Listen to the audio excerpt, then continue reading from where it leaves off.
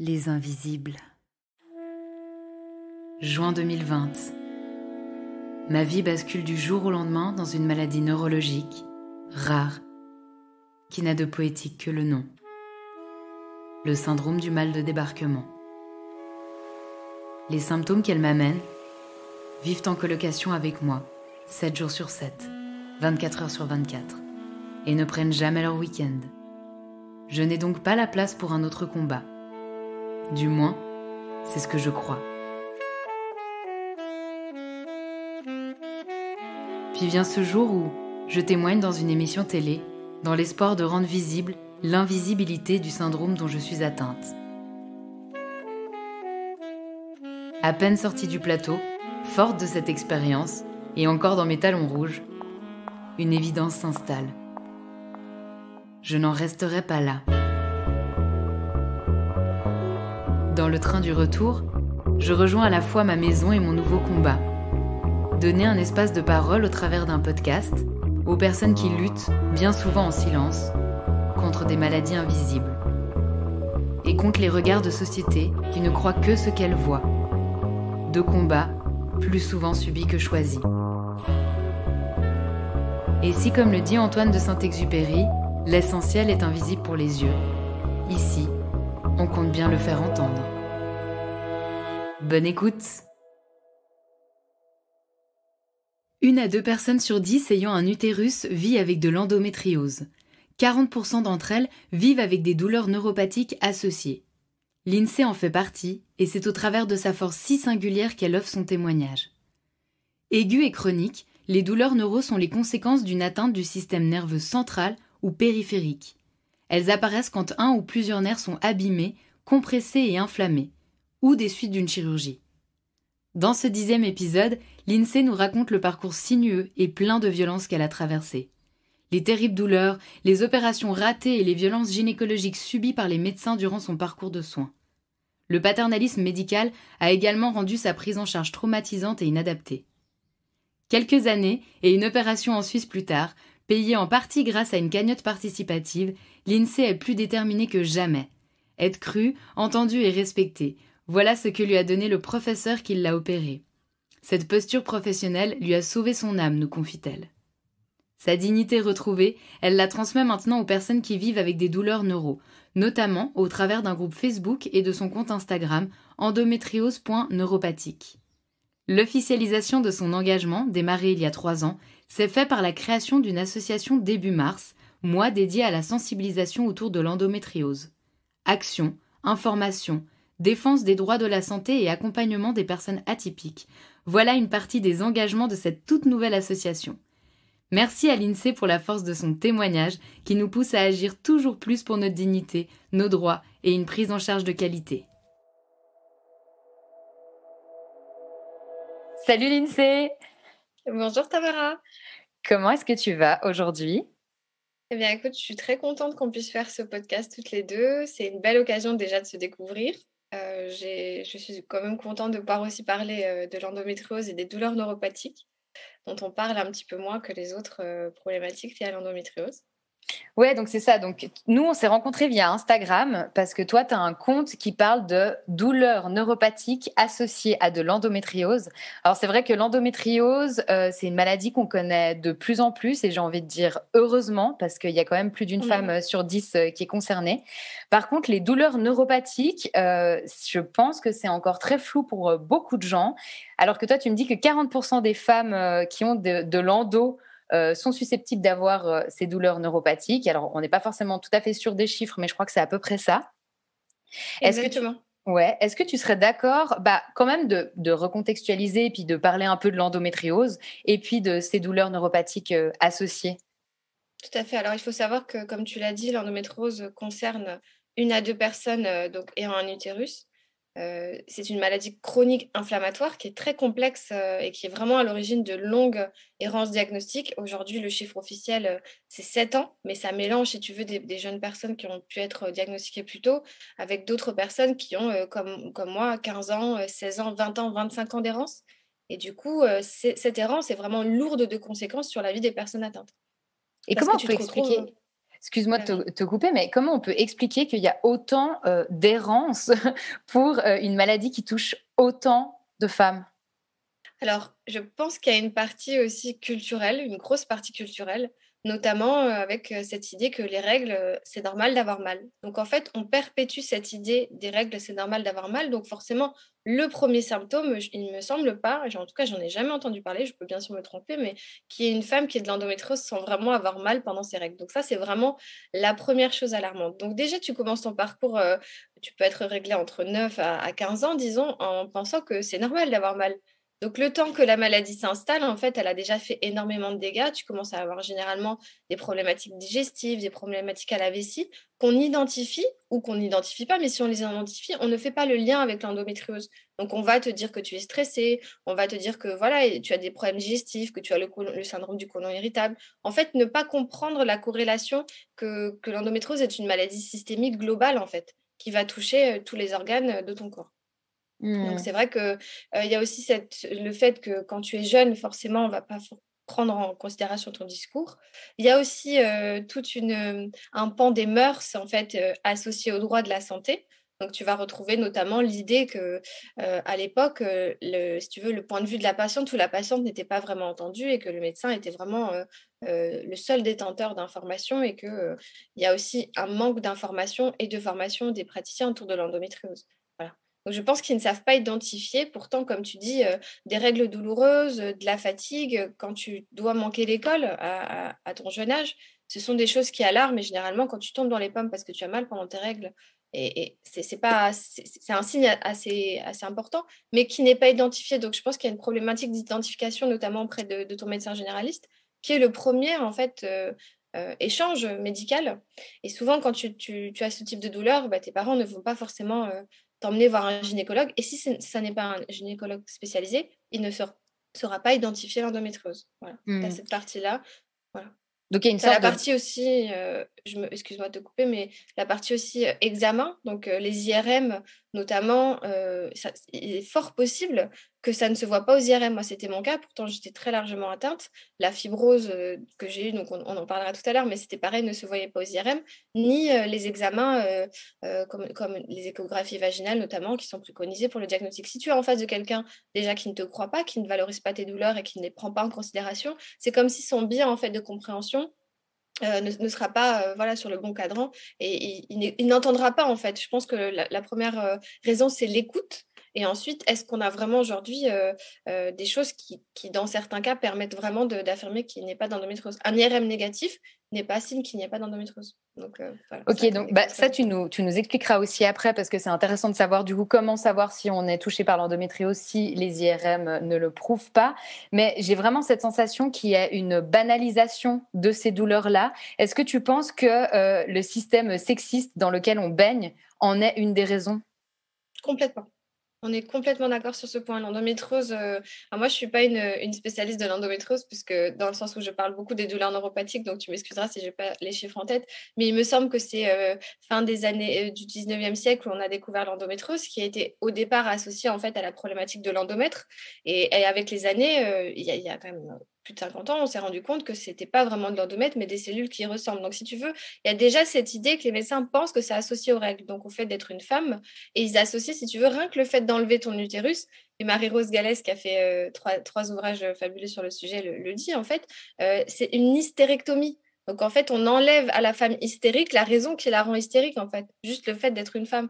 Donc il y a tout un concept, voilà, Mona Chollet euh, en parle également, euh, euh, voilà, ce rapport-là aux, femmes. Et, en fait, tu te conditionnes, si tu veux, à accepter des choses parce que culturellement, on t'a incité à le faire ainsi, en fait. Donc je suis tout à fait d'accord avec toi qu'il y a une, une visualisation que l'endométrose n'est pas qu'une maladie de femme parce que déjà, voilà, euh, euh, elle ne touche pas que les femmes. Et en plus, le conjoint est aussi touché, la conjointe, euh, voilà, en, cas de, voilà, en, fonction de, Comment, comment, le dire sans être voilà si on est inclusif toutes les personnes qui sont autour de nous sont touchées l'environnement. L'environnement la famille le couple peu importe voilà nos choix et ça, c'est important de le dire. Et je crois qu'on associe trop cette maladie à l'utérus parce que forcément, le nom qui devrait, je pense, être changé l'associe. Et malheureusement, certains médecins ne se mettent pas à jour des données scientifiques sur le sujet qui expliquent qu'il peut avoir plusieurs causes de l'endométriose. Donc, une théorie du reflux qui supposerait que l'endométriose se balade dans ton corps. Parfois, ça atteint le cerveau. Donc là, tu te demanderais, mais le passage, il est où? euh, Marie-Rose, je la cite beaucoup parce que c'est elle qui, le dit euh, dans ce sens. Mais le, chemin, il est où? On a des IRM, on a des images, non? On n'a que des dessins du chemin supposé. Ou cette théorie euh, métaplasique qui supposerait qu'en fait, tes cellules se transforment par l'environnement, les perturbateurs endocriniens, par ton, enfin, avec le corps avec lequel tu, es là, en fait, simplement. Et en fait, qu'on a retrouvé il me semble que c'est les travaux du docteur Edwin de l'endométriose sur des embryons féminins et, masculins. Donc tu vois, c'est toute une compréhension déjà en fait de la maladie qui est pas bien définie et nous on lutte aussi pour ça. Et mmh. autour de, cette idée que c'est une maladie de femmes qui touche les règles et, tu vois que si on coupe les règles, on coupe la maladie. Donc quelqu'un qui va prendre une pilule qui n'a plus ses règles, elle n'a pas vraiment d'endométriose, tu vois? Mmh. Je sais pas si j'ai répondu à ta question. Euh, très bien, merci. C'était hyper complet. Et du coup, euh, tu disais qu'on ne voit pas forcément sur un IRM si on est atteinte d'endométriose pardon, ou pas. Du coup, euh, quelles sont les pistes à ce moment-là? Si on, sent que vraiment ça ne fonctionne pas bien, que c'est douloureux, qu'est-ce qu'on peut faire? Déjà, se faire confiance. Parce que je pense que la douleur, c'est un signal de quelque chose qui ne va pas. Alors, tu peux avoir de la douleur, comme malheureusement beaucoup de médecins euh, aujourd'hui, et j'espère que ce sera de moins en moins le cas parce qu'on lutte activement toutes, euh, toutes et tous pour ça, de se dire que tu peux même avoir une, une, douleur psychosomatique, mais elle est quand même à prendre en considération. Ta douleur est là pour t'informer. Donc déjà, si tu sens que tu compares avec tes amis, tu, admettons euh, à ton plus jeune âge, tu n'arrives pas à aller à l'école, tu n'arrives pas à te lever dans le cas des douleurs neuropathiques, tu n'arrives plus à marcher, tu es vraiment handicapé, il y, a des choses, des questions à se poser en fait. Et peu importe finalement euh, si à ce moment-là, tu, n'es pas, euh, si tu veux, identifier comme ayant de l'endométrose, mais ta douleur est importante à considérer. Et en se faisant confiance, surtout si tu sens qu'il y a quelque chose et que ton médecin ne t'écoute pas, change de médecin. Parce hmm. que tu tomberas sur quelqu'un qui aura une meilleure connaissance, une meilleure expérience, une meilleure écoute et qui te conviendra mieux. Donc, d'être euh, déterminé. D'accord. Mais donc, il n'y a pas forcément enfin, en dehors de l'IRM, il n'y a pas d'autre chose qui pourrait le prouver, euh, si ce n'est euh, la confiance que tu as en toi et ton corps. Voilà, alors une échographie euh, vaginale, forcément, peut, montrer ce type de problématique. tu peux aussi retrouver, si tu as de, l'endométriose recto-vaginale ou digestive, il me semble que certains examens peuvent le montrer, mais c'est très rare, parce que moi j'ai fait tous les examens possibles au niveau de la vessie, il n'y avait pas du tout de, de résultats, pourtant j'étais très atteinte. Il faut aussi préciser que tu peux avoir extrêmement mal et avoir des toutes petites lésions qui ne vont pas se voir, parce que l'IRM a aussi ses limites en termes de taille. Et, la personne qui va interpréter aussi ton IRM va, voir que cette petite chose, c'est de l'endométriose. Mais si tu n'es pas habitué, l'expérience aussi euh, a un impact. En fait, c'est intéressant parce que, ouais, ce que je trouve intéressant, c'est qu'on a mis une telle confiance euh, dans ces scanners que c'est comme si vraiment c'était eux qui avaient euh, l'absolute raison sur ce qui se passe à l'intérieur de toi. Et on se rend de plus en plus compte, bah aussi via les comptes Instagram qu'on mène ou comme ça, qu'il y a vraiment de nombreuses maladies qui sont totalement existantes et qui pourrissent la vie des gens et qui ne se prouvent pas par ces moyens-là, par cette imagerie. Il faut, évoluer dans, dans, la façon de concevoir le soin aujourd'hui, qui est, qui est devenu trop presque technique alors que le diagnostic est aussi un élément en fait probant. C'est-à-dire que le diagnostic, tu prends des éléments, douleur de règles, douleur à l'estomac, euh, vomissement, euh, nausées, tout ce qui concerne l'endométriose, sans parler même des douleurs neuropathiques, sont en fait ton examen clinique ensuite tu décides de la, de comment dire de ce que tu as envie de faire derrière donc euh, et vraiment avec la patiente et le consentement de la patiente hein, on, en reparlera tout à l'heure un peu plus longuement mais opération pas opération pour aller voir ou pas. Mais il y a quand même des éléments que tu retrouves dans tous les parcours des femmes qui ont l'endométriose euh, avec euh, vraiment un manque d'écoute comme tu dis. Le diagnostic l'élément diagnostic c'est aussi les compétences et les connaissances du médecin pour réunir en fait tous ces éléments former un tout et avoir le on va dire, au moins un doute possible.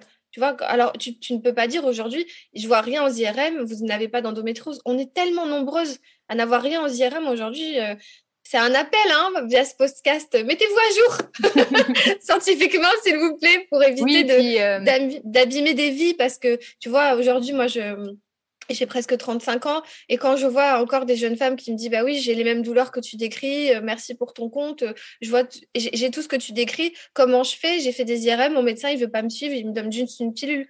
Faut aller aujourd'hui euh, un petit peu plus loin et comprendre l'impact en fait de ce manque de diagnostic et de prise en charge sur la vie des femmes atteintes Mmh et du coup, je pense qu'il faudrait justement euh, euh, trouver moyen de légitimer en fait la souffrance des gens au travers d'autres méthodes et d'autres que les preuves soient différentes en fait que cette imagerie qui peut-être euh, est parfois un peu caduque pour certaines choses. C'est ça. Et aussi, tu mmh. sais, de se dire, tu parlais de, l'élément sexiste aussi, euh, de penser qu'en fait, toutes les femmes sont des chochottes et qu'on ment tout le temps. En fait, on adore dire qu'on a mal au ventre, on adore avoir la nausée, on adore être, tu sais, on est des petites choses fragiles, on adore qu'on nous poupoune quand on a nos règles. Ah oui, j'ai mal au ventre, mon Dieu. Je pense que si les gens avaient ne serait-ce que 1% de mesure à quel point on a mal, à quel point cette maladie est handicapante, difficile et psychologiquement euh, énorme en fait à supporter, je pense qu'on on, aurait toutes des médailles. Ça ferait un sacré, un sacré paquet de médailles à donner,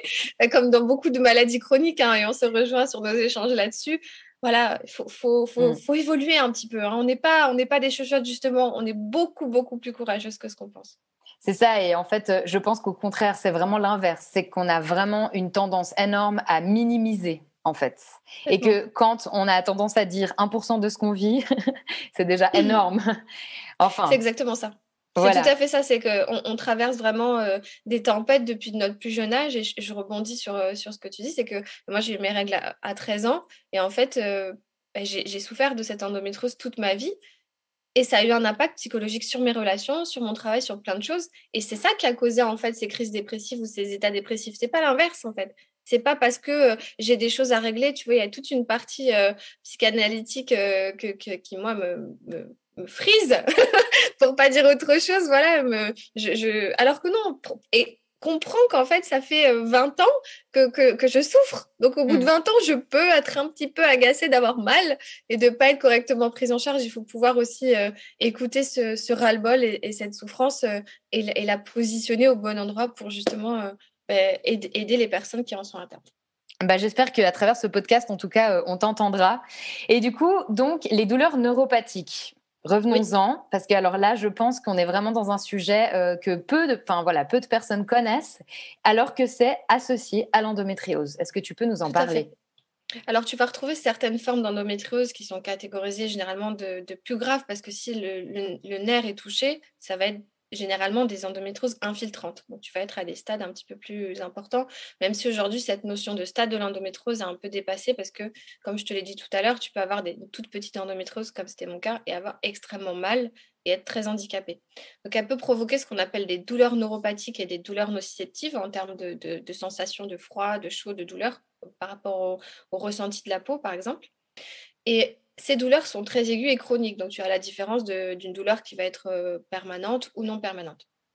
Et en fait, elles sont la conséquence d'une atteinte du système nerveux central ou périphérique lorsque un ou plusieurs nerfs sont touchés, compressés ou enflammés par l'endométrose, voire même abîmés lors de chirurgie. Et ça, on appelle ça des douleurs post-opératoires chroniques. Il y a énormément d'informations sur ce type de douleur, sur toutes les autres maladies mais très peu sur l'endométriose et, surtout pas sur l'endométriose euh, avec des conséquences des, nerfs touchés comme le nerf sciatique qui est, un des plus fréquents. Donc tu vas avoir, oui, euh, des, des, informations euh, et j'ai d'ailleurs sur le groupe associé au compte Instagram partagé énormément de documents sur le sujet. Il, il y a des vidéos, vraiment, on en parle, mais en fait, on ne fait pas le lien. Aujourd'hui, on ne te dit pas, tu peux avoir en fait un risque post-opératoire chronique avec ces douleurs-là, et surtout quand après les opérations, tu as ce type de douleur alors que tu ne les avais pas avant, ou qui n'étaient pas associées directement à tes atteintes d'endométriose, on ne t'en parle pas, et en fait, je pense que je, peux me permettre euh, cette, euh, en tout cas, c'est un constat que j'ai fait. J'ai l'impression que les médecins savent, parce que les algologues sont très au courant qu'en coupant euh, certains endroits, il y a des nerfs et que du coup, ça peut avoir des conséquences. Mais il y a une espèce d'omerta que, je ne comprends pas, en fait, aujourd'hui. Pourquoi ne, pas dire, ben, en fait, c'est pas forcément ta faute, juste tu coupes et c'est des conséquences. Mais préviens-nous, laisse-nous le choix, en fait, de, de, savoir si on a envie de prendre ce risque pour notre santé, surtout pour des petites endométrioses qui, qui peut-être pourraient être, euh, si tu veux, soulagées d'une autre manière s'il y avait une écoute et une bonne prise en charge. Oui, je pense qu'ils ont toutes les raisons du monde que ce soit pas forcément très bien renseigné à ce sujet. Exactement. Donc, euh, je, je suppose que, toutes les démarches, en tout cas que, j'entreprendrai un petit peu plus publiquement, risquent de gêner un petit peu. Je m'y prépare, mais je pense que l'information à la patiente est un droit et c'est vraiment nécessaire. Et je, souhaite vraiment qu'il n'y ait plus de personnes qui passent par le parcours, euh, voilà mon parcours qu'on évoquera tout à l'heure, pour éviter justement d'abîmer euh, ses nerfs. Donc ces douleurs, euh, elles se manifestent principalement donc, par des fourmillements, des picotements, des brûlures, des coups d'électricité et un, un, engourdissement ou des démangeaisons. C'est vraiment très intense, persistant. Euh, et ça apporte également une énorme fatigue chronique et des troubles du sommeil qui peuvent être associés aux douleurs parce que si du coup tu as ces douleurs, ça te réveille, tu ne dors pas bien, tu es anxieuse et ça a un impact énorme et c'est surtout pas soulagé par les médicaments classiques contre la douleur parce que ce n'est pas le même cheminement de la douleur. Donc ça c'est important de le dire. Mmh. Et du coup ces douleurs, elles se situent partout dans le corps? Mais ça dépend en fait euh, des, raisons en fait qui t'amènent à avoir ces douleurs neuropathiques. Si par exemple tu as euh, des lésions euh, recto-vaginales, donc en fait au niveau du rectum, tu vas avoir un espèce de paquet nerveux qui peut être relié notamment à ta colonne vertébrale ou tu vois toute cette, zone-là. Donc si ton, si tu veux ton endométrose est situé sur le nerf ou proche du nerf, proche de la zone, si tu veux, de réception de la douleur, donc centrale ou périphérique, bah, tu vas avoir mal en fait. Mais si tu veux, c'est ce que décrit très bien le professeur Possover euh, et, m'a répondu clairement euh, lors d'une interview sur le sujet. Ça, en fait, plus tu as d'informations euh, lors du diagnostic des douleurs neuropathiques, plus tu peux savoir où éliminer. il expliquait très bien en fait que c'est comme un circuit électrique où tu vas te retrouver avec un étage qui est complètement abîmé par une lésion et ça te permet d'avoir une, une, meilleure information d'où se trouve en fait ton étage abîmé. Donc, c'est important de vraiment écouter la patiente encore plus dans ce type d'approche et de problématique que, euh, que dans les autres maladies, parce que plus on aura d'informations, mieux on sera situé où se trouve en fait la lésion qui empêche, tu veux, tout le système de bien fonctionner. Hmm. Alors, est-ce que tu peux nous raconter, toi, comment c'est arrivé ces douleurs neuropathiques dans ta vie? Alors, je te fais un petit résumé parce que, comme on se le disait euh, en préparant ce podcast, euh, le dossier est lourd. donc, on va rendre ça un petit peu plus léger. Donc, du coup, j'ai, donc, comme je te le disais, eu mes règles à 13 ans, des problématiques donc, euh, de douleurs pendant les rapports, des problématiques urinaires et digestives, et principalement suite à une celluloscopie où j'ai découvert en, fouillant mon dossier médical dix ans après qu'en fait il avait percé un kyste ovarien et qui s'est en fait répandu dans, tout mon petit bassin. Attends, j'ai pas compris sous quelle manière? Euh, une, voilà, une celluloscopie pour une, une appendicite aiguë. Donc, euh, le médecin ne me connaissait pas, il a percé comme ça en se disant c'est un kyste euh, fonctionnel, il n'avait pas mon dossier, il a pris un peu des largesses. et du coup, ça s'est répandu dans tout mon petit bassin. Ok. Et, ça, a colonisé, en fait, voilà, ça a colonisé la vessie, le rectum, en fait, ça s'est répandu, si tu veux, dans, tout le bassin. Il n'y a pas eu de ce qu'on appelle d'anapathe ou d'analyse en fait qui aurait pu m'éviter 5-6 euh, ans d'errance de plus diagnostique. Et c'est vraiment à partir de ce moment-là où mon endométriose est devenue handicapante. C'est-à-dire que quand tu, ne peux plus aller à la selle normalement, euh, et surtout la vessie, tu, as envie de faire pipi toutes les 15 minutes, donc euh, tu peux pas prendre le bus, les transports, pas aller à l'école. Et surtout, J'espère que ça a changé, mais euh, moi j'ai loupé plein de concours comme ça d'école de commerce ou d'école tout court, d'IUT, parce qu'on on, refusait de me laisser aller aux toilettes. Et en fait, euh, j'ai beaucoup souffert de, cette discrimination et de, cette incontinence, en fait, et de pas comprendre à cause de quoi c'était lié. Donc la continence, elle est arrivée quand même directement après cette intervention? Oui, elle est arrivée trois mois après, donc euh, pareil, dans, un, dans une idée de douleur post-opératoire, sans qu'on m'en informe, mais à cette époque-là, on était en 2011 je fais le calcul, euh, je dois avoir 25 ans, 24 ans, quelque chose comme ça. Je suis pas très très bonne en maths, mais voilà. donc, euh, c'est, et, et j'ai pas compris ce que j'avais. Donc là, j'ai commencé, si tu veux, à faire énormément de tests, énormément de recherches, de comprendre pourquoi j'avais ces problématiques. Les douleurs euh, pendant les rapports se sont intensifiées. Et en fait, je suis complètement tombée par hasard sur un, un article qui, parlait d'endométriose et je me suis dirigée vers le chirurgien à l'époque euh, niçois qui était le, plus habilité de m'aider, mais ça a pris encore cinq longues années et surtout beaucoup d'arrêts maladie. j'ai refusé des postes à responsabilité. J'étais responsable logistique à l'époque et je travaillais en Afrique et en fait je ne pouvais plus travailler parce que je, faisais des crises en fait si tu veux très fréquentes, des arrêts à l'hôpital. Euh, des, crises de diarrhée, de constipation. Donc en fait, tout ton quotidien est impacté et tu es obligé de déployer énormément de choses pour réussir à avoir une vie plus ou moins normale, pour camoufler, parce que, encore une fois, culturellement, on ne t'entend pas, on ne t'écoute pas. Euh, mmh. tes premiers rendez-vous chez le gynécologue où euh, tu dis, bon, bah, j'ai des douleurs pendant les rapports, j'ai mal, tout ça, tu te prends des réflexions d'une extrême violence. arrêtez, madame ou mademoiselle ou jeune fille, dans la plus grosse condescendance, vous vous prenez pour une actrice porno pardon, c'était mon premier copain, j'ai 19 ans, enfin, je l'aimais beaucoup, tu vois, j'étais toute mignonne, toute petite, toute fragile, et tu démarres comme ça, enfin, fragile plutôt mentalement, mais à ce moment-là, d'entendre ça, c'était extrêmement violent. Et en fait, tu le crois, parce que tu n'as pas la maturité d'intégrer que je vais me permettre que cet homme est un vieux con. Et, voilà, donc c'est vraiment un, parcours que, que j'espère qu'on pourra alléger en termes de, violence verbale, du moins. Mmh. Et du coup, alors qu'est-ce que tu fais à ce moment-là? Donc toi, tes recherches, tu les fais via Internet, j'imagine, enfin pour trouver euh, ce oui, qui t'arrive. Oui, oui, tout, à fait. Euh, je, dès que je rencontre euh, des nouveaux médecins, parce que à cette époque-là, voilà, je, déménage du Congo, de Nice. En fait, dans toutes les villes où je vais, j'essaie de, à chaque fois que je rencontre un nouveau médecin, que ce soit un kiné ou un urologue, j'essaie un petit peu d'avoir des informations. À chaque arrêt aux urgences qui sont assez fréquents, je dis mais vous connaissez pas une maladie qui fait ça? J'étais déjà extrêmement déterminée et malheureusement, si tu veux, ça a créé énormément d'anxiété. Euh, et en fait des crises de panique parce que c'est ça qui est le plus difficile quand tu n'es pas diagnostiqué. Donc le diagnostic est extrêmement important, c'est que tu ne sais pas ce que tu as. Et quand tu vas aux urgences, oh, bon, elle a mal pendant qu'elle a ses règles, celle-là, qu'est-ce qu'elle vient faire là? Et encore mmh. aujourd'hui, même quand tu as un diagnostic et que tu as mal et que toi tu as l'impression que tu vas mourir, on ne te prend pas au sérieux. Donc il y a vraiment, euh, et je, je, vais peut-être le répéter beaucoup, mais vraiment de l'écoute, une prise en, considération de, de ce qu'est ce réellement cette maladie. Ce n'est pas que des douleurs de règles. C'est extrêmement mmh. handicapant. Et oui, et puis souvent, euh, on, a tendance à pas vraiment réaliser à quel point cette écoute, elle est précieuse. Et en réalité, c'est pas grand-chose, l'écoute. Non. Quelque part. Et tu vas avoir, et tu vas avoir des conséquences, en fait. Oui, et je, me dis, ça demande pas de développer des moyens énormes, en fait. C'est juste d'entendre, mm. de croire, essayer de trouver des pistes, éventuellement, si c'est possible. Donc, ouais, en fait, je pense... Et d'accueillir... En fait, d'accueillir cette conception que quelqu'un peut avoir mal et que peut-être on peut rien faire pour elle. Alors, si on peut rien faire pour elle et qu'on ne sait pas, il faut dire je suis désolée, je, suis à la limite de mes compétences, de mes possibilités, je ne sais pas, mais ne pas dire mon Dieu, on ne peut plus entendre, c'est dans votre tête, c'est parce que tu as un problème avec ta mère, avec ton père, avec ton chien, euh, tout ce que tu veux. Non, en fait, tu arrives à 13 ans, tu, c'est faux, tu es complètement naïf, tu n'as absolument, tu as une vie idyllique, tu auras quand même de l'endométrose et ça sera pas ta faute. Donc, euh, on ne veut plus entendre ça, vraiment. En fait, les médecins doivent aussi accepter que, voilà, des fois, ça va au-delà de leurs compétences et que c'est des êtres humains et que c'est pas grave. Et les femmes de le comprendre aussi qu'ils ont leurs propres limites et que ce n'est pas parce que un médecin à un moment va te dire tu n'as rien que c'est vraiment le cas. Donc, si tu sens toi-même qu'il y a quelque chose, fais-toi confiance et trouve les bonnes ressources ou les bons groupes. Hein, euh, on est là. voilà. Et du coup, après donc ce parcours et cette errance, très clairement, euh, qu'est-ce qui s'est passé? Est-ce que tu as trouvé quelqu'un avec qui pouvoir en parler et qui a posé ce diagnostic? Donc j'ai rencontré le chirurgien niçois qui m'a opéré assez rapidement, qui m'a dit dans deux semaines tu seras remise, etc. Malheureusement c'est pas ce qui s'est passé.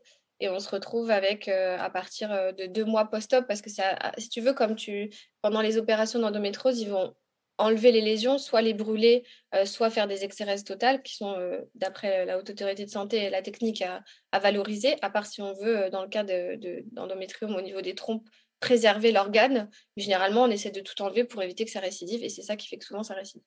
L'opération, la technique opératoire est très importante. Donc à ce moment-là, il, m'opère et je pense qu'il a coupé quelque chose. Il a créé de la fibrose, en fait, qui, qui intervient après les chirurgies souvent parce que tu saignes. Donc, les chirurgiens qui sont habilités à éviter ce type de, fibrose ont des techniques particulières qui évitent justement euh, bah, de fibroser. Donc, il y a des techniques possibles pour, euh, pour améliorer, si tu veux, cette prise en charge. Quelle est la définition de la fibrose? Alors là, tu me poses une colle. Je t'avoue que de tête, je pourrais pas te dire, mais en fait, si tu veux, c'est du tissu euh, qui va en fait cicatriser. C'est du tissu cicatriciel qui, en fait, dans le cas de l'endométrose, va, si par exemple, même, même dans le cas d'une césarienne, tu vas avoir euh, ben, en fait du tissu qui va impacter ton air. Et du coup si ton air est impacté il ne peut plus envoyer la bonne information. Il est complètement comprimé et douloureux en fait dans le cas des opérations d'endométriose, si par exemple, tu vois, ils nous ouvrent au niveau du nombril, euh, des deux flancs et généralement en bas, soit quatre ou cinq cicatrices, et en fait, ils font passer des troncards à l'intérieur, et ça, ça peut notamment faire euh, ben, blesser en fait à l'intérieur. Généralement, dans, la majorité des cas, ça arrive que ça ne soit pas forcément le cas, mais que la fibrose vient en fait, d'un choc opératoire ou d'une conséquence opératoire. Donc, euh, ça arrive dans beaucoup de maladies, mais encore une fois, on n'en parle pas. Et quand tu te fais opérer de l'endométriose, si le chirurgien, euh, c'est arrivé à une de nos membres, hein, tombe sur de, la fibrose, il ne l'enlèvera pas. Donc, en fait, si as, la raison de ta douleur, c'est la fibrose associée à l'endométriose, il ne saura pas l'identifier et il ne l'enlèvera pas. Donc, c'est ça qui, va causer ça. Donc, moi, c'est ce qui m'est arrivé. Donc, deux mois à peu près pour cicatriser, où du coup, j'ai des douleurs incroyables. on ne m'a pas expliqué voilà, ce qu'il allait se passer après cette chirurgie. Donc, je panique complètement. Et, et à la suite donc, de cette première opération, quel est le premier intervenant à pouvoir m'aider, puisque le chirurgien n'est pas très présent, c'est mon médecin généraliste. Donc je lui dis voilà que je ne comprends pas un mois après d'avoir autant mal, alors que moi il m'avait dit en deux semaines tu seras complètement remise. Et malheureusement à la suite de, ce, rendez-vous, le le médecin généraliste de l'époque, mon médecin généraliste de l'époque me propose d'aller vérifier pourquoi j'ai tant mal au niveau du recteur, puisque j'ai été opérée d'une endométriose recto-vaginale profonde. Et c'est à ce moment-là, malheureusement, qu'il me propose de faire un, toucher rectal que j'accepte parce que moi, j'ai envie d'avoir des solutions. Je suis vraiment, je t'avoue, à ce moment-là, psychologiquement, dans une extrême détresse. Et lors de ce rendez-vous, donc, euh, il me fait extrêmement mal. Je retire mon consentement et c'est à ce moment-là que, que je, suis malheureusement victime d'une agression sexuelle euh, grave. Et en fait, il reste à peu près 15 minutes comme ça euh, euh, à, ne pas vouloir en fait me libérer euh, pour chercher je ne sais quoi. Et, de ce donc de ce malheureux rendez-vous, agression, parce qu'on va on va nommer, c'est important, de cette agression et, ce viol, hein, parce que c'est pénalement caractérisé comme ça. je suis donc allée porter plainte trois ans après, le temps de, de, digérer, de comprendre, parce que tu ne comprends pas toujours que tu t'es fait agresser, puisque c'est dans le cadre médical. Et, et j'ai donc fait une vidéo en live, euh, ça commence aujourd'hui pour en parler, dans le but d'expliquer qu'en fait, je n'aurais pas vécu cette agression si déjà j'avais été bien informée des douleurs euh, post-opératoires, en fait, des risques. Bien sûr, ce n'est pas la faute du chirurgien, il ne faut pas tout mélanger, mais je pense qu'on on est dans une position de manque d'information, euh, que ce soit en termes de droit de la santé, de ce qu'est un examen, de consentement. Donc, il y a pas mal de choses qui, qui entrent, tu vois, par rapport à cette errance, en fait, et cet état psychologique qui est créé du fait de cette errance, du fait de la violence, de manque de prise en charge et d'une mauvaise prise en charge. On est dans mmh. une position vraiment euh, de détresse, en fait, qui, qui, qui, est qui favorise en fait les agresseurs à, nous atteindre. Ouais, complètement. J'ai euh, vu euh, ce matin la vidéo que tu as justement tournée à Ça commence aujourd'hui sur France 2. Et le titre, donc, c'est Abusée par son médecin, deux points, elle a vécu un calvaire, et où tu racontes pendant une quinzaine de minutes, je crois que c'est un extrait, ce mmh viol que tu as vécu de par ton médecin généraliste. Exactement et du coup, je voulais aussi faire comprendre que si l'information était donnée, bah, tu saurais qu'en fait, euh, bah, tu as été en fait, euh, opéré donc on a quelque part, euh, créé une cicatrice comme si tu avais en fait une plaie ouverte. C'est normal que ça te fasse mal au début, après il faut s'inquiéter si ça persiste. Mais si tu veux, l'absence d'information fait que tu vas vite paniquer et que les conséquences psychologiques sont importantes et tu vas te retrouver en fait, en détresse face à des personnes qui vont profiter de ta situation en fait, médicale. Donc c'est important aussi, euh, je lutte activement pour que ça soit moins tabou, pour expliquer que ça arrive et qu'il faut en parler. Euh, il faut porter plainte parce que si par exemple euh, bah, quelqu'un d'autre avait porté plainte contre ce médecin, on aurait été deux et du coup ma, plainte aurait été prise au sérieux et ça aurait peut-être eu, si tu veux, d'autres conséquences. Donc c'est important d'identifier et d'en parler surtout parce que ça, ça permet aussi soit de, de, prendre conscience. Euh, moi, il a fallu trois ans. Il a fallu que justement, ce que je disais pendant l'émission, que je vois une première émission de Ça commence aujourd'hui pour dire en fait, je ne suis pas la seule. Et pourtant, on était déjà en 2018, tu vois, donc il y avait quand même euh, Internet, tout ça. Donc, euh, notre travail aussi à nous qui avons été victimes, on n'est pas obligé de le faire. Hein. Personne n'est obligé, bien entendu.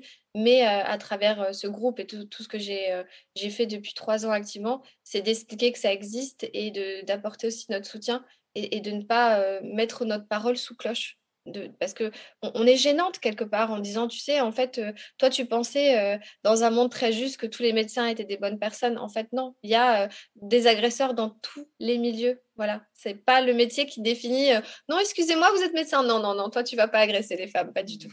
Voilà, je, préfère cette autodérision hein, pour alléger un petit peu le sujet qui, est, extrêmement grave, mais, c'est vrai que j'ai souhaité participer à cette émission pour montrer aussi qu'on peut aussi s'en remettre après un, élément comme ça, après un, cadre de vie comme ça, en justement en faisant attention à soi et en expliquant voilà, j'ai vécu ça aujourd'hui parce que c'est ça qu'est-ce que je fais pour que ça ne m'arrive plus en fait? Voilà. Ça, c'était un, des points importants.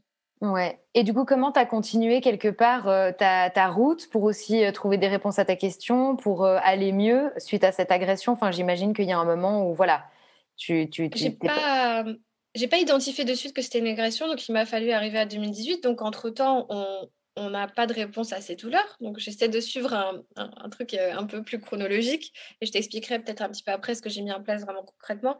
Mais on arrive à cette opération, donc deuxième opération, le même chirurgien qui n'identifie identifie pas pardon, que ce sont des douleurs neuropathiques parce qu'il n'y connaît rien ou qu'il n'a pas envie de le dire. Et donc, deuxième, deuxième opération. Donc là, c'est sa décision parce que tu te plains de ces douleurs. Voilà, on ne réussit pas à identifier qu'est-ce qui cause ces douleurs au mollet, à la jambe, euh, en plus de l'endométrose euh, qui est toujours là, la fatigue, euh, voilà, l'anxiété et la dépression parce que tu penses en fait que tu vas gambader, comme il te l'a dit deux semaines après, en fait ta vie elle est encore plus handicapée. Les douleurs à la vessie quand tu te fais opérer au niveau des nerfs de la vessie, ça met plus de six mois, un an à revenir. Au niveau du rectum, c'est pareil. Encore une fois, pas, pas d'information, minimisation complète des douleurs on veut te remettre sous pilule alors que toi tu veux pas. Donc tu vois, il y a une, prise en charge qui est, chaotique et il décide de me réopérer parce qu'en fait, il sait pas ce que j'ai. Il m'a envoyé vers un rhumatologue au bout d'un an alors que j'avais déjà un an de douleur et tout s'est installé, tout a commencé à être de plus en plus douloureux et en fait, euh, il aurait juste fallu me prendre en charge correctement au début. Et est-ce que à ce moment-là, il y a quand même quelque chose qui soulage comme des antidouleurs basiquement? Alors euh, là, je suis prise au, centre antidouleur après plus de six mois d'attente. Donc en plus, je ne te parle même pas des délais euh, de prise en charge, ça c'est encore un autre sujet. On, veut me donner de la morphine, sauf qu'on me dit que c'est pas du tout addictif, euh, que ça va très mal aller comme des bonbons. Bien sûr, moi je, cherche sur Internet et je vois que ce n'est pas le cas.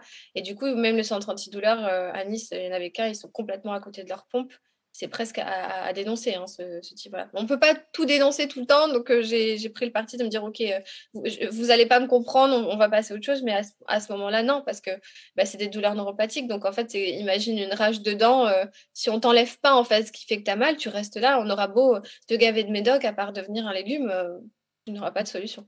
On voit tellement d'aberrations qu'on finit par se dire qu'il faut choisir ses combats.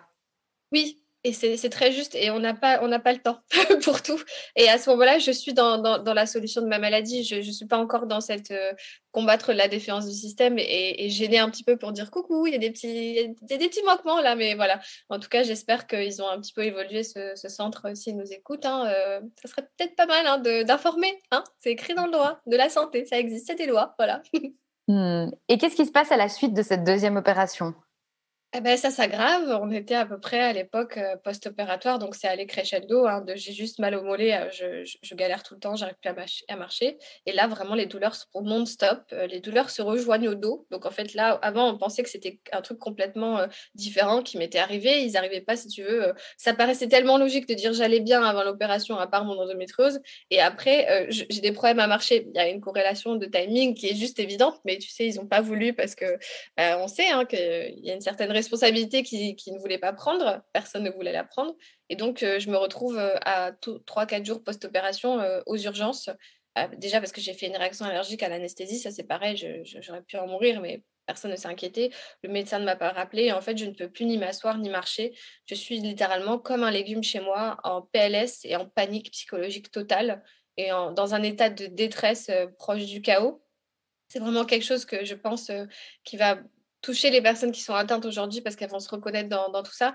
Et, je, n'en parle pas souvent justement de ce passage-là parce que mon groupe, euh, le compte Instagram et l'association euh, qui, est en cours de création, euh, si tu veux, pas mon but, c'est pas de parler de moi ou de mon parcours, mais je, me rends compte que c'est important que les gens comprennent aussi par quoi je suis passée parce qu'elles le vivent aussi. Ça permet de se sentir moins seule, mais c'est très dur à vivre ce manquement-là. Et à l'époque, j'ai encore euh, changé de généraliste parce que pareil, généraliste sexiste, tout ça, violent, euh, qui t'entendent pas. Euh, j'en ai eu à l'appel, donc j'ai changé, j'ai changé, j'ai changé jusqu'à trouver une bonne personne.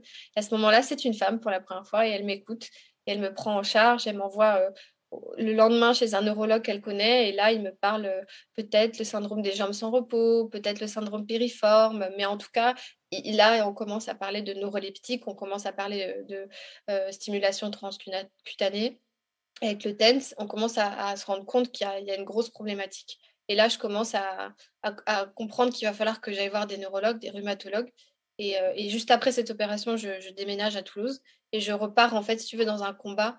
Euh, mais je suis euh, physiquement extrêmement handicapée, psychologiquement extrêmement blessé euh, par la réaction du chirurgien qui disparaît complètement et qui, euh, qui, là commence à se couvrir parce qu'il commence à sentir que c'est ça va pas c'est pas bon voilà les échanges d'emails de mauvaise foi absolue dans un truc je vais me permettre le mot complètement hallucinant et, en dehors des en fait, d'une bonne prise en charge et, de ce qui est légalement acceptable pour, pour un chirurgien. Donc, il vient même pas me voir après l'opération dans ma chambre. Il a complètement disparu. Enfin, c'est ça a été vraiment très difficile. Et à Toulouse, bah, j'ai refait ce cheminement-là, chercher des chirurgiens.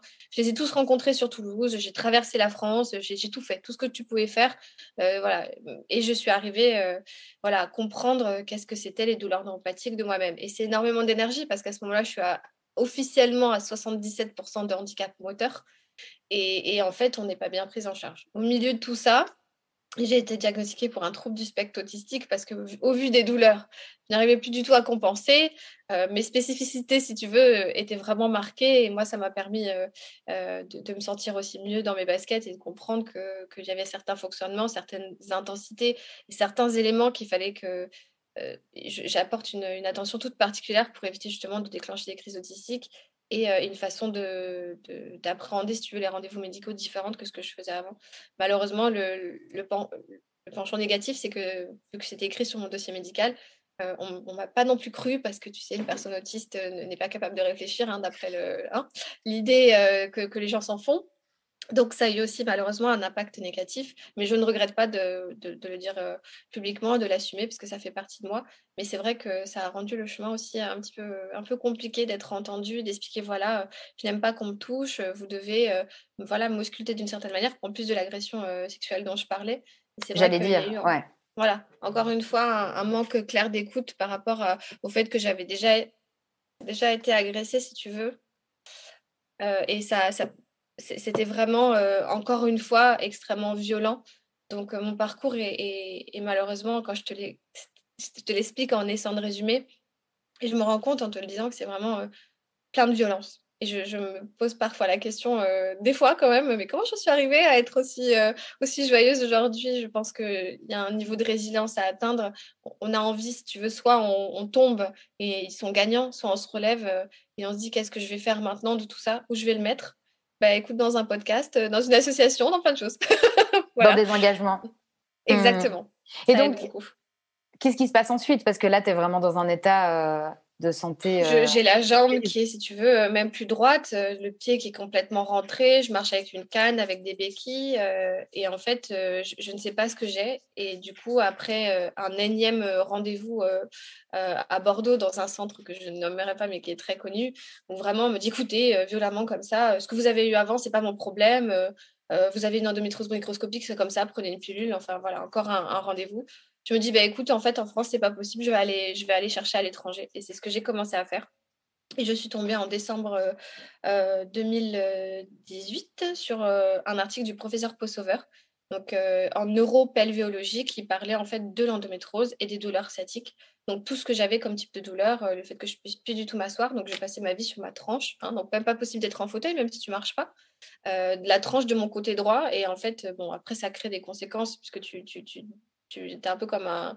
Tu as la moitié de ton corps qui est plus fonctionnel, donc tu compenses sur l'autre moitié. Enfin, psychologiquement, tu, tu sais plus ce que tu fais. Tu as 31 ans, tu sais plus qu'est-ce que ça va être ta vie. Enfin, c'est complètement. Euh, c'est très, très dur, en fait. Et cette, euh, on t'apprend pas, il n'y a pas de guide comment. Euh, T'es pas handicapé, hop, t'es handicapé. tu vois, tu sais pas. tu, ah sais plus comment vivre. En fait. Après, on n'a pas du tout de, protocole ou de petits fascicules qui nous l'expliquent. Oui, s'il te plaît. Voilà, le, ou une psychologue qui te prenne au sérieux. Dans les centres antidouleurs euh, toulousains, euh, bah, encore des psychanalystes. Hein, ça devrait être juste interdit d'avoir des psychanalystes tout court et encore plus dans des centres douleurs. Tu parles de, la, de ta jambe, bon, j'ai mal à la jambe. Et là, on te coupe, mais Madame Bacala, et votre rapport à votre père Je lui dis, pardon? Euh, Mon rapport à mon père Mais excusez-moi, madame, j'ai mal à la jambe là. Qu'est-ce qui se hmm. passe? Mon pied, vous voyez pas mon pied il, est rentré là. Je ne peux plus le poser par terre, s'il vous plaît. Donc tu vois, je, je, je, les ai gênés, hein, ces gens-là. Je, les ai confrontés. Mais tout le monde n'est pas capable de le faire. Un rendez-vous que tu as attendu pendant plus de six mois, c'est très, très difficile d'être d'être prise en charge comme ça. Donc ben là, euh, tu tombes sur cet article. Et en fait, tu sais que c'est lui qui va te sauver parce que tu as tout essayé, en fait. Et voilà, et tu fais une cagnotte euh, pour pouvoir. Euh, il est où ce, voir... ce professeur? Donc, il est à Zurich. et, euh, voilà, en Suisse, je le rencontre le 25 janvier 2019, euh, donc forcément un rendez-vous qui a changé ma vie. Et le 29 janvier, donc c'est bientôt, je crée ce groupe euh, endométriose et douleurs neuropathiques, tellement toute l'information a été claire et, je peux te dire que je suis sortie de, de ce rendez-vous, ça m'a mis encore beaucoup aujourd'hui avec de l'espoir. voilà, en me disant je, je, vais sauver ma jambe, voilà, ça va marcher. Et ça va me coûter beaucoup d'argent, mais, mais c'est pas grave parce que de toute façon, je peux pas rester comme ça, je, je peux pas concevoir de, de, de, de rester comme ça parce qu'on m'a mal prise en charge. Voilà. Ok, et dans cet espoir de tu vas sauver ta jambe, ta jambe, qu'est-ce qui a fait ça? C'est-à-dire que lui, il t'a dit qu'il allait pouvoir intervenir d'une manière ou d'une autre? Oui, exactement. Alors, en fait, il t'ausculte. Déjà, il regarde comment tu marches. Euh, c'est, si tu veux, comme euh, quelqu'un qui va vraiment prendre tous les éléments. Il t'écoute déjà pendant un rendez-vous qui dure plus de deux heures, ce que ne font pas aujourd'hui les médecins en France parce qu'ils n'ont pas le temps. Et c'est pas leur c'est pas leur faute. Hein. Il s'agit là aujourd'hui de, n'accuser personne, juste d'expliquer qu'en fait la prise en charge en, euh, Suisse est tout autre. Et c'est on mérite ça après tout ce que je viens de te raconter. Je pense que j'avais besoin de ce rendez-vous où, où, il prend vraiment le temps avec moi. Il évalue tout ce que je lui dis, une partie des documents médicaux, mais comme tu disais tout à l'heure, avec la connaissance de la limite des imageries et de tout ce qui est à sa disposition médicalement parlant. Après, il t'ausculte euh, voilà, en interne pour toucher en fait directement via euh, euh, bah, ton utérus et en remontant en fait le lien de la douleur. Et là, il touche en fait le nerf sciatique et là, je hurle. Et, et par contre, voilà, c'était très douloureux, mais je crois que c'est l'examen le plus respectueux où il m'a mis une serviette sur, sur mon intimité. Tu vois, enfin, ça ce rendez-vous a permis de, démarrer en fait la réparation en fait de tous les examens violents parce que voilà il y a eu d'autres agressions et violences gynécologiques dont ça prendrait du temps d'en parler mais dans le parcours de, femmes qui ont endométriose j'en connais très peu aujourd'hui qui n'ont pas vécu ça malheureusement. C'est pour ça qu'il faut aussi en parler euh, dire qu'on est très nombreuses et qu'on peut voilà il faut euh, porter plainte et, dénoncer ce type d'attitude et, donc, du coup, j'ai cet examen. Et là, il, si tu veux, il, te rend euh, de ce compte rendu directement après ton opération, déjà qui te permettra d'avoir une vraie validation de tes problématiques, d'être prise en charge. J'ai beaucoup de membres du groupe qui, grâce à ça, ont pu être pris en charge en invalidité ou euh, auprès de la MDPH avec un vrai compte rendu, ce qu'en France, on ne te fait pas systématiquement. De toute façon, ils ne sont pas capables de diagnostiquer. Donc, comment ils seraient capables de l'opérer Je précise juste que la MDPH, c'est la Maison des personnes handicapées en France vu que le podcast est suisse, enfin c'est pas qu'il a vraiment une nationalité, mais vu que je suis suisse et qu'il y a pas mal de Suisses qui nous écoutent, voilà, ou même euh, des personnes au Canada, voilà. Exactement. Et en fait, euh, suite à donc ce rendez-vous, euh, il me fait un devis, on prépare l'opération. je refais une cagnotte du coup en expliquant, ben, moi j'ai essayé de faire un prêt, je suis bénéficiaire d'une allocation adulte handicapé, donc une AH. Donc à ce moment-là, je, n'ai pas de revenus, j'ai rien à vendre, j'ai pas de voiture. Donc en fait, je, dis écoutez les gars, euh, je trouvais une solution, allez venez, on va sauver ma jambe s'il vous plaît. tu vois, ça a été dur. J'en parle parce que ça a été très dur de, demander de l'aide, mais j'ai pas eu le choix à ce moment-là. Parce que l'opération, elle coûte combien? Alors euh, pour moi, c'était 25 000 euros. Et tu euh, n'avais aucune économie? J'avais toutes les économies que j'avais, je les ai, je les ai dépensées pour aller voir tous les chirurgiens qui, qui m'ont raconté des bêtises euh, tout au long de la France, parce que quand il faut aller à Bordeaux, tout ça, bah, ça se paye. Hein. Et du coup, tu travailles pas depuis à peu près 2016, donc euh, tout ce que j'avais pu mettre de côté, euh, bah, je l'ai dépensé dans mes soins en fait. Et donc, pas de revenus. Tu dis que tu as fait une cagnotte, c'est-à-dire? Donc une cagnotte participative euh, sur des, sites euh, de cagnotte en ligne. Euh, et en fait, voilà, j'ai expliqué mon parcours. Je me suis filmée avec une vidéo. C'était pas du tout facile à faire, mais en disant voilà, aujourd'hui, j'ai pas le choix que de demander votre aide. Et quelque part, je me disais, mais comme j'avais déjà le groupe qui était lancé, ben moi, je vais redonner aux autres. En fait, j'ai pas d'argent, mais, mais j'ai du temps. J'ai de la volonté pour, pour informer les autres femmes. Et à travers cette cagnotte, j'ai aussi informé beaucoup de personnes. Et, et on a à peu près 400 personnes qui ont participé à 2 euros, 5 euros, 10, 1000 anonymement parfois. Et on a réussi du coup à, récupérer euh, bah, les sous pour l'opération de post Je précise que c'est pas que lui hein, dans, les, dans ce, bilan-là. Il y a la clinique, il y a une autre personne qui l'aide pour opérer, il y a d'autres soins. Voilà. Mmh, c'est assez magnifique et vraiment porteur d'espoir. Quand tu dis groupe, c'est ton compte Instagram, c'est les abonnés? Alors, euh, le groupe, c'est le groupe Facebook. Et la page Instagram, euh, c'est il y a plus d'abonnés sur Instagram parce que c'est public et sur le groupe, en fait, c'est vraiment spécifiquement un groupe euh, Facebook réservé aux personnes pour l'endométriose neuropathique ou à leurs proches des personnes qui sont sur le groupe. Est-ce qu'on en profite pour que tu nous donnes les noms de ces groupes? Alors du coup, le groupe aujourd'hui, il est associé euh, bah, à, l'association qui est en cours de création, comme je te le disais, qui devrait être officielle la semaine prochaine, euh, voilà, euh, pour fêter nos trois ans d'existence. Donc tu as un groupe Facebook qui s'appelle aujourd'hui Association endométriose et douleurs neuropathiques, et le compte Instagram c'est endométriose.neuropathique. Donc et tu, de toute façon, en tapant endométriose neuropathique, tu, tu tombes dessus. Donc voilà, aujourd'hui, bah, c'est un combat qui dure trois ans qui, existe depuis trois ans, je pense que vraiment, on a, on a, si tu veux, permis d'avoir, en dehors du soutien, vraiment de l'information médicale, euh, alors, il faut savoir que du fait de mes troubles cystiques, euh, on, va dire que je peux avoir certaines lacunes de compréhension sociale, même si je, lutte activement pour, euh, pour compenser un petit peu. Mais je voulais vraiment un groupe qui soit extrêmement bienveillant parce que je n'étais pas capable de fonctionner autrement. Je n'étais pas capable d'avoir un groupe, si tu veux, où il y avait beaucoup de choses négatives qui, sont à entendre aussi, mais ce n'était pas ma, volonté. En tout cas, je n'estimais pas être formée pour accueillir ça correctement. Et donc vraiment d'être, euh, voilà, est-ce que par exemple j'ai des douleurs à la jambe, qu'est-ce que vous, vous avez fait euh, J'ai tel traitement pour les douleurs neuropathiques euh, qui m'a été proposé, qu'est-ce que vous en pensez? Encore une fois, on n'est pas médecin et ça ne n'empêche pas d'aller voir un médecin parce que c'est n'est pas du tout le but, hein, je le précise, mais, mais ça permettait au moins de dire je ne me sens pas seule, il y a des choses qui existent et du coup d'avoir un support avec énormément de fichiers, énormément de retours et énormément d'informations où tu dis en fait ce n'est pas dans ma tête, c'est dans ma jambe, qu'est-ce que je fais pour aller? Et là, tu démarres dans une, dans une démarche d'être actrice de ta santé, de connaître tes droits de la santé et de pouvoir te dire qu'un médecin ne t'a pas bien accompagné, que ça ne te convient pas, donc euh, d'aller vers autre chose. Oui, oui, puis en effet, c'est pas forcément, ça remplace pas forcément euh, le, des médecins, mais par contre, c'est vraiment un échange de témoignages et de partage donc voilà, comme tu dis, c'est sortir aussi de ce sentiment de solitude qui est, selon moi, une des choses les plus difficiles à gérer quand on vit avec des maladies et qu'importe lesquelles. Et euh, du coup, il y a vraiment ça aussi, cet engouement à sentir qu'on est, on est plusieurs, même si c'est pas toujours la même expérience, la même maladie, mais pas la même expérience. Mais voilà, c'est assez porteur. Mais du coup, donc toi, qu'est-ce qui s'est passé? Tu as eu cette opération, donc tu as réussi à récolter ces 25 000 francs. Exactement, donc 20 000 sur la cagnotte et après il y a ma famille qui a participé voilà, d'un autre côté parce que comme je suis, je viens du Congo, si tu veux, je suis originaire de là-bas, il n'y a pas beaucoup, enfin les, gens ont très peu de moyens, mais même des gens qui ont rien ont quand même donné allez, 5 000 francs CFA, ce qui vaut 7,50 euros. Donc en fait on a tout récolté, c'était hyper touchant et je suis partie à mon opération avec toutes ces personnes-là, d'autres associations parce que je me suis toujours engagée depuis que j'ai 12 ans, donc en fait tout le monde était là, bon, on sait que l'INSEE ne ment pas, on sait qu'elle a tout fait parce qu'on l'a connaît. Là, allez, on va l'aider. Et puis en fait, ça m'a donné une, foi en l'humanité et ça m'a apaisé. Et ça, si tu veux, guéri absolument tous les bobos, euh, tous les manques euh, d'amour. Euh, enfin, d'amour, quand je dis d'amour, c'est plus parce que l'endométriose fait qu'aussi, malheureusement, tu, as, tu peux rencontrer des problèmes dans ton intimité, avoir des problèmes à avoir des amitiés parce que tu, ne peux plus sortir. Enfin, quand je te dis le manque d'amour, c'est socialement parlant. L'impact que ça peut avoir sur ta vie si tu avais une vie entre guillemets normal. Je mets des grosses guillemets parce que qu'est-ce qu'une vie normale Mais bon, un autre débat. On n'a pas le temps pour tout faire.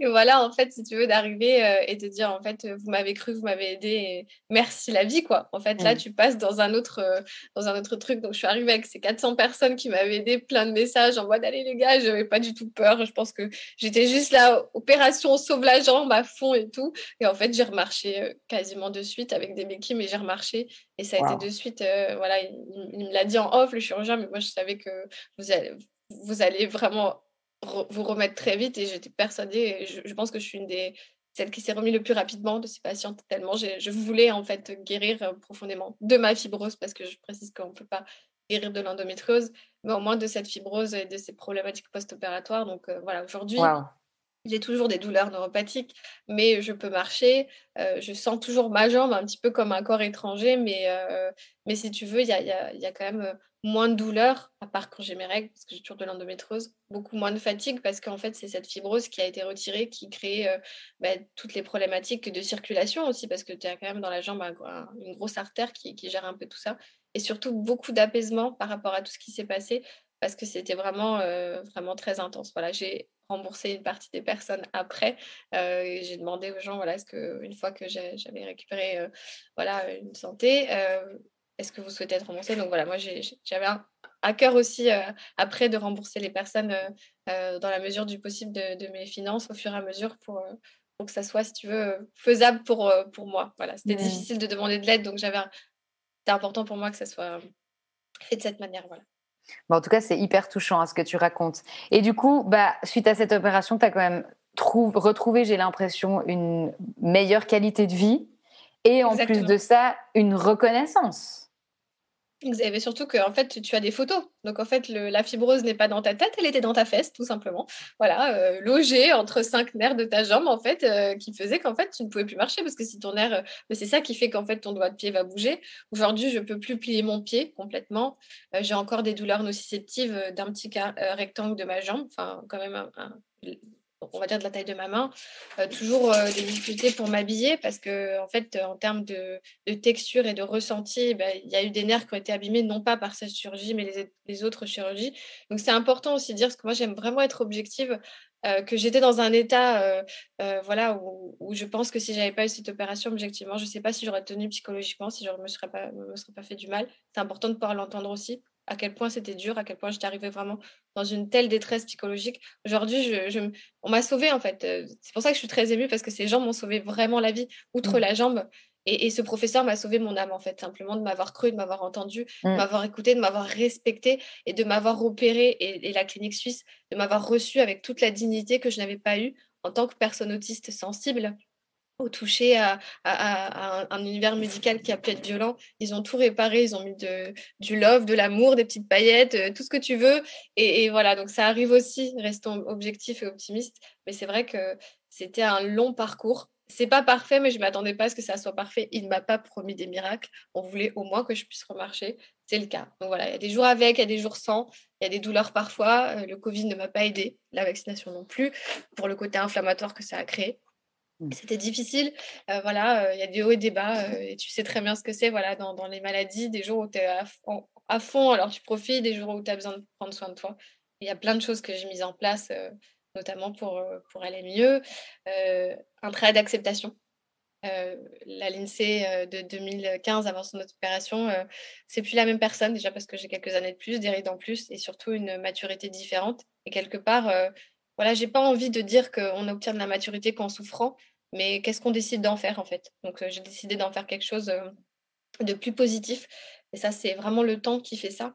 Euh, voilà, de lutter contre la colère, en fait, de savoir pourquoi moi, pourquoi je me suis fait mal opérer, pourquoi c'est tombé sur moi. Il n'y a pas de pourquoi, en fait. Ce, médecin n'est pas formé. il mérite, en fait, de, ne plus exercer ou, d'avoir des rappels à, la loi, etc. C'est ce que j'essaie de faire.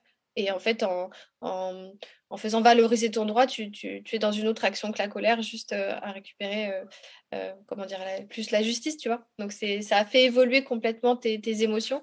Et du coup, tu vis beaucoup mieux le fait d'avoir des limites. En fait, ouais, c'est une transformation de la colère dans quelque chose qui est, qui est acceptable et valorisé aussi, quelque part. Oui, mais il faut pas être forcé à ça. Exactement, c'est-à-dire que c'est OK aussi d'être en colère. Il y a un moment, tu peux pas arriver euh, à voir ta vie qui bascule complètement alors que tu sors euh, d'une école de commerce, que, euh, que, tu as galéré à payer pendant je sais pas combien d'années, que tu t'es battu et que juste parce que un mec a s'il faut toucher un petit truc tout pourri, tu te retrouves dans cette situation de handicap extrême alors que tu avais toute la vie devant toi. C'est quand même fort. Ouais, je pense que c'est important de rappeler aussi que c'est un leurre de vouloir absolument toujours euh, en faire quelque chose de beau, de tout le temps justement être dans cette valorisation de la colère, et aussi de dire que c'est normal que cette émotion, elle nous traverse, surtout dans les parcours de vie qu'on a, qui sont particulièrement douloureux. Et on en parlait aussi dans le dernier podcast euh, avec Stéphanie qui parle euh, de, hum, je vais trouver le terme, l'encéphalomyélite myalgique, où vraiment elle essaye de légitimer aussi ce qui se passe dans la vie des mmh gens, les émotions qui nous traversent. Donc voilà, tu en as fait quelque chose de super, mais il faut pas que les gens se culpabilisent en ressentant une colère énorme et que ça les bouffe des fois un peu aussi. Et en fait, il y a des jours où, euh, comment je fonctionne un petit peu, c'est qu'il y a des jours quand, quand je... Aujourd'hui, j'y repense plus parce que c'est, c'est, c'est vraiment un choix presque de rééducation de mon cerveau en disant non, mais voilà. Et les jours où ça, ça me traverse encore, quand notamment j'en parle, ben, je me dis, euh, bah, dis donc, sacré parcours. Et puis voilà, je chiale un bon coup et puis après j'avance. Mais je veux pas du tout que, que mon témoignage soit une injonction à, se dire, ah bah, on n'a pas réussi à faire comme Lindsay. En fait, on n'a juste pas le même parcours et, c'est OK. Et si aujourd'hui on est en colère, c'est aussi OK, tu vois. C'est-à-dire qu'on a le droit de, de, de, ne pas comprendre et, et d'être en colère qu'on porte autant atteinte à notre dignité euh, dans un parcours médical euh, avec vraiment des ruptures de soins qui aujourd'hui ne sont identifiées, mais qu'on met un petit peu sous le comment sous la couverture quoi. Bon, on va pas trop hein, parce que voilà, c'est des femmes, elles sont un peu pernicheuses, hein, on va camoufler tout ça un petit peu. Et moi, je suis là pour, euh, voilà, mon but, c'est coucou, ça existe, voilà, on est là. voilà, mais faire d'une manière où il ne faut pas oublier que c'est des parcours extrêmement difficiles. Mmh. Et du coup, tu racontais les choses un peu que tu avais mises en place pour toi actuellement. Est-ce qu'il y a d'autres outils, des méthodes ou... Alors, se faire confiance. Ça, c'est, je te l'ai dit au début et je le redis parce que si tu sais qu'il y a quelque chose, Généralement, c'est qu'il y a quelque chose. Voilà. Je ne sais pas comment toi tu l'as vécu dans ton parcours médical, mais en tout cas, euh, voilà, on n'arrive pas, si tu veux, à, aller consulter pour le plaisir de consulter ou juste de dépenser son argent. Mmh. Euh, voilà, en fait, il faut être déterminé, si tu veux, euh, même encore une fois, les émotions, peu importe les émotions que tu as, je pense que, j'ai envie de dire presque, il n'y a que toi qui peux te sauver, tu vois d'être déterminé en fait à, trouver une solution parce que peut-être dans notre culture ou en tout cas dans la culture française, euh, on a cette idée que le du médecin sauveur, en fait, ça, il faut aussi se détacher de, ce concept-là.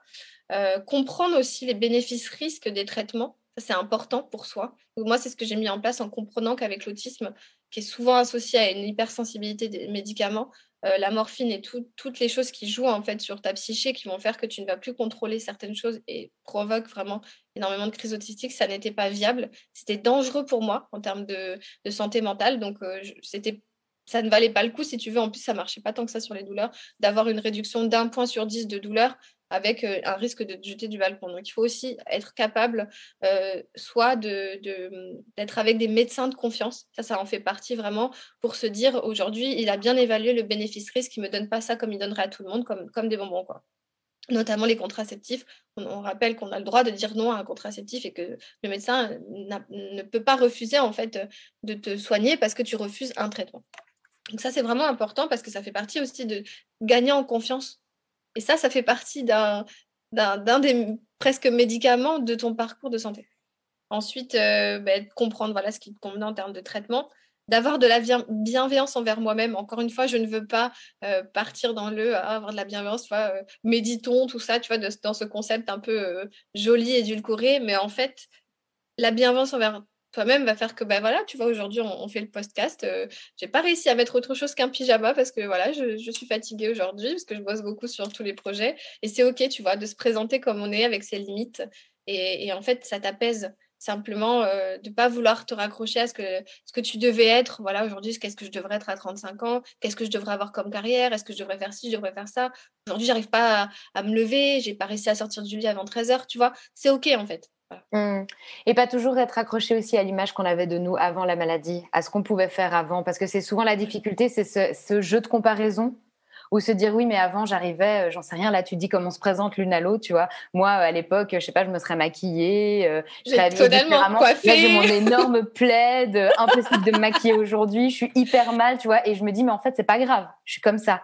Et comme mais en fait c'est ça. Et là par exemple je crois que c'était vendredi j'ai fait un live improvisé euh, sur le groupe avec mon, mon, mon pull gros goût euh, de Star Wars, là, euh, bébé Yoda, complètement avec des cernes, comme tu me vois là, avec claqué. Et en fait, le message est passé quand même. Et, c'est aussi ça, tu peux pas dire aux gens, montrez-vous comme vous êtes et toi, arrivez tout le temps. Par contre, j'ai aussi un côté, je suis quelqu'un de très coquette et que du coup, tu me verras toujours, voilà, avec des, des ongles très bien faits. Même pas, j'ai mon truc, quoi. Tu vois, j'ai quand même mon accroche pour me dire, OK, là, je suis au top. Les ongles faits, je suis au top, tu vois. Donc, chacun son truc. Mais y a, comme tu dis, pas de comparaison avec les autres, pas de comparaison avec toi. Et peut-être que quelque part, euh, ça c'est encore une fois pour pas être positive, euh, juste pour être positive, mais je me suis un peu détachée de certaines choses et j'avoue que c'est plutôt pas mal quand même. Hein. J'ai abandonné quelques valises d'obligations sociales que franchement, c'est un peu plus léger, c'est pas plus mal. Ouais, ça fait du bien aussi de plus répondre euh, à tout ce qu'on attendrait de nous. Exactement. Donc il y a ça et puis après, en termes de solutions, donc on parle peu euh, de, la stimulation euh, du C transcutané, du TENS ou de différents appareils. Ça, ça marche vraiment très bien. Euh, il n'y a pas de conséquences puisque c'est sans médicaments. Et moi, je, me baladais à l'époque tout le temps avec parce que je ne pouvais pas me déplacer sinon. Et il y a voilà, pas mal de choses. C'est ça? Oui, exactement. Tu peux le mettre autour de ton cou ou l'attacher. En fait, tu as des électrodes qui sont attachés. Tu peux le mettre sur ton trajet du système nerveux. Ça peut aider aussi pour les douleurs de règles. ça peut aider aussi pour pour les douleurs euh, euh, au niveau de, la vessie, tu vois. Donc, c'est vraiment, euh, je pense que si on m'avait donné ça avant, ça m'aurait réellement aidé et je trouve qu'on n'en parle pas assez. Et après, tu as toute la partie rééducation et technique manuelle, notamment la kiné. Tu peux le faire en interne ou en externe. Bah, je précise que dans mon cas, tu vois, vu toutes les agressions que j'ai eues, je ne le fais pas du tout en interne et je ne pense pas que ça sera possible un jour.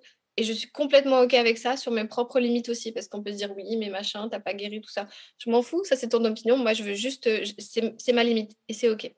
Et du coup, donc, rééducation du périnée, tu as Princesse Pyrénées qui a fait un super livre sur le sujet.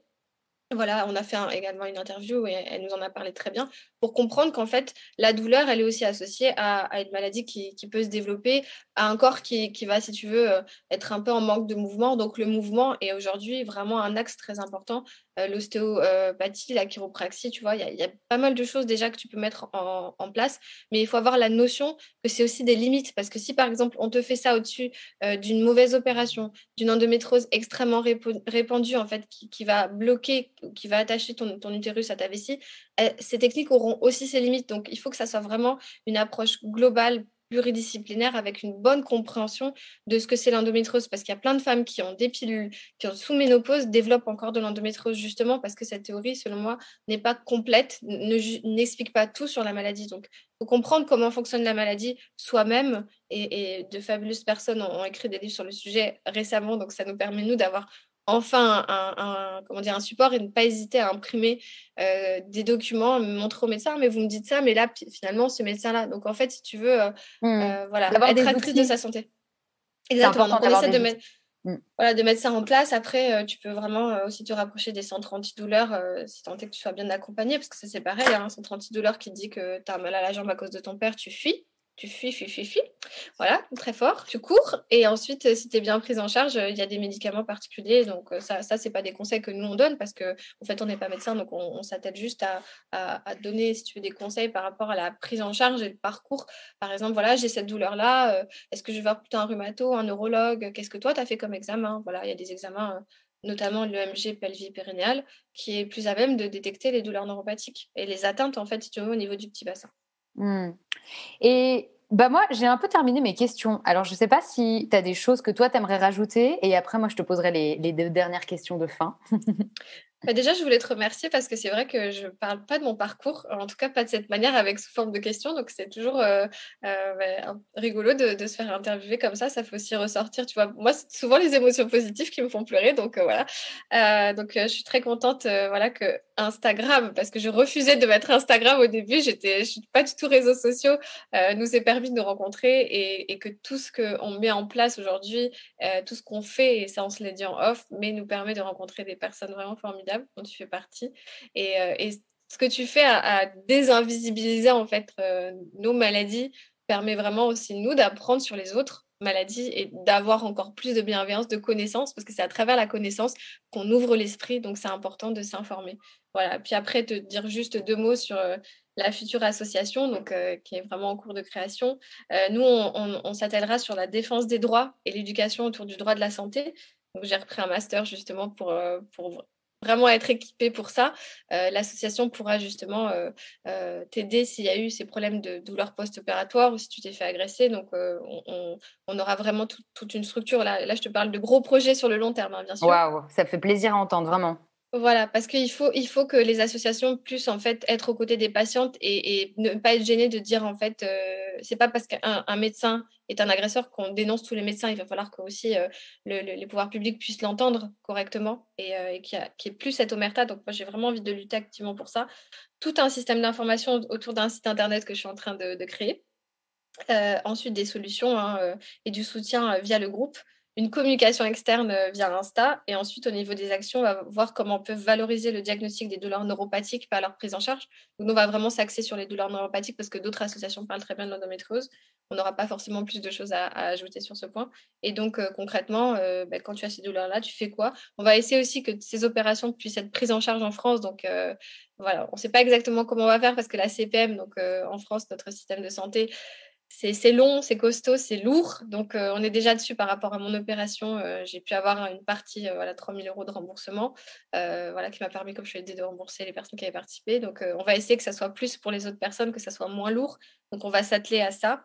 Et un petit plus, c'est je souhaitais vraiment faire aider la prise en charge des personnes avec autisme ou des personnes atypiques parce qu'on on galère vraiment. on est, si tu veux, les personnes, parce que l'autisme est considéré aujourd'hui comme un handicap comme les dyslexies ou le, ou TDAH notamment, avec ou sans hyperactivité. Et en fait, on est, si tu veux, potentiellement des, des cibles faciles parce que déjà qu'on a passé notre vie à douter de nous et à, souffrir de cette différence, on n'arrive pas forcément à, comprendre quelqu'un qui va nous agresser. Et, en fait, cette, cette vulnérabilité, j'aime pas trop employer ce terme, mais il faut parfois dire les choses, euh, est extrêmement dommageable et, peut être traumatisante dans le parcours. Donc, par exemple, voilà, si tu es une personne autiste ou atypique et que tu as ce diagnostic-là, on englobe l'endométriose générale, euh, vraiment accompagner la personne sur tout le parcours, euh, quitte à se rapprocher, j'espère, prochainement euh, d'associations de personnes autistes pour voir comment on peut, si tu veux, créer de l'information, peut-être faire que ces personnes-là soient accompagnées à chaque rendez-vous pour être sûr qu'elles soient en, sécurité. C'est bah, important. Hmm, on a vraiment hâte de voir cette, cet assaut c'est du boulot et c'est avec le temps. Alors ça, c'est mes objectifs, mais ça peut être voilà créé. Clairement. là, on est mais en tout cas, j'ai pas de doute de voir euh, cette association vraiment fleurir, quoi. Ben, si tu veux, ça fait déjà trois ans qu'on travaille, donc on est tellement déjà de membres. J'aurais pas besoin de dire aux gens euh, rejoignez-moi parce que si tu veux, le travail on l'a déjà fait, mais c'est juste une manière de, le concrétiser plus légalement et, d'avoir aussi plus de poids. Parce que quand tu es une association, si c'était juste moi, euh, bonjour, je suis un groupe Facebook, tu vois, c'est un petit peu délicat. Alors que là, quand tu dis euh, voilà, je suis président d'une association, t'as pas la même portée. C'est ça, il y a la question de la légitimité en fait. Exactement, et on était obligé, vu, vu euh, si tu veux, en ayant euh, écouté, euh, conseillé pendant trois ans activement, je ne sais pas combien de milliers de personnes, on a changé vraiment la, la, façon de voir les douleurs neuropathiques et, d'aider les autres à, comprendre qu'il y avait une certaine, un certain positionnement à avoir pour comprendre sa maladie avant tout. Et je crois mmh. que voilà, on a l'objectif, c'était qu'il y ait moins de personnes qui finissent avec le même parcours que moi. il y a du boulot, mais en tout cas, je suis quand même hyper positive. Et voilà, et ça permet, comme je te disais, de rencontrer énormément de personnes euh, formidables aussi sur le chemin. En tout cas, bravo. Du coup, moi, il me reste mes deux dernières questions. Et la première, c'est euh, quel message t'aimerais faire passer aux personnes qui ont des maladies invisibles et à leur entourage? Alors, j'ai bien conscience qu'au final, le message, tu le fais passer tout le long hein, du podcast. Mais voilà, est-ce que si tout d'un coup, tu as quelque chose à rajouter, une phrase, une citation, quelque chose qui pourrait percuter aussi chez ces personnes, euh, c'est avec plaisir faites-vous confiance. Parce que je pense qu'on sait, que ce soit pour, euh, pour euh, voilà, quand est victime d'agression, qu'on voit qu'il y a quelque chose qui ne va pas dans notre parcours. On est tellement habitué à se faire euh, remettre en question. Là, je parle vraiment en tant, en tant que femme. voilà, en tant qu'humain, même de manière globale, hein, c'est pas destiné qu'aux femmes, mais en tout cas, moi, je parle de mon expérience. Faites-vous confiance parce que si je m'étais pas fait confiance, je serais peut-être pas là aujourd'hui pour vous en parler et trouver les bons intervenants qui vont vous aider euh, et qui vont vous écouter parce que même si la douleur n'a pas de cause physique avérée à l'instant T, peut-être que ça sera le cas dans 10 ans. Ayez espoir, une situation n'est pas toujours figée. Hmm. Et si cette maladie, en tout cas les douleurs neuropathiques, euh, l'endométriose, euh, était un super pouvoir, qu'est-ce que ça serait? Pour moi, tu veux dire? Pour toi. Ah, c'est une dure question quand même. Hein. qu'est-ce que ça m'aurait apporté, tu veux dire, comme super pouvoir? Exactement. Bah, des capacités sociales inconnues. Parce que je pense que si j'avais pas mené ce, combat, euh, j'ai appris énormément. Alors, on dit souvent que les personnes autistes n'ont pas d'empathie. Alors, c'est complètement faux, mais on va dire que c'est une empathie un peu moins facile et plus intellectuelle.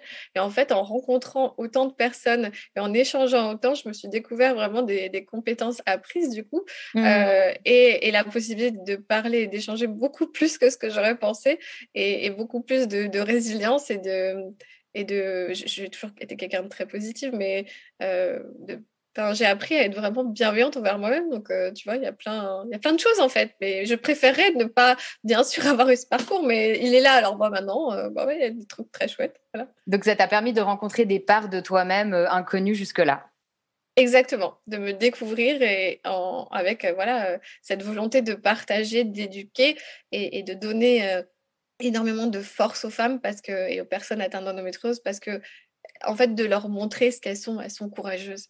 On est mmh. courageuses. Mmh. Toutes les personnes ayant des maladies voilà, difficiles à diagnostiquer, invisibles ou quoi, on vit avec ça au quotidien et c'est difficile et pourtant, euh, vous ne le voyez pas parce que nous, on fait, voilà, on fait le nécessaire pour, euh, pour le supporter à notre manière et on a du courage. Mmh. Je crois qu'on va terminer là-dessus. Merci beaucoup en tout cas pour bah, Je te remercie Lindsay. C'était un plaisir et euh, ouais, merci vraiment pour, euh, pour ce, ce, partage qui est très riche quoi. Je trouve que tu nous as apporté beaucoup d'informations et beaucoup éclairé à ce sujet. Merci beaucoup Tamara, je te souhaite plein de bonnes choses pour la suite et puis ben, nous on reste en contact de toute façon. Bien sûr, à bientôt. à bientôt.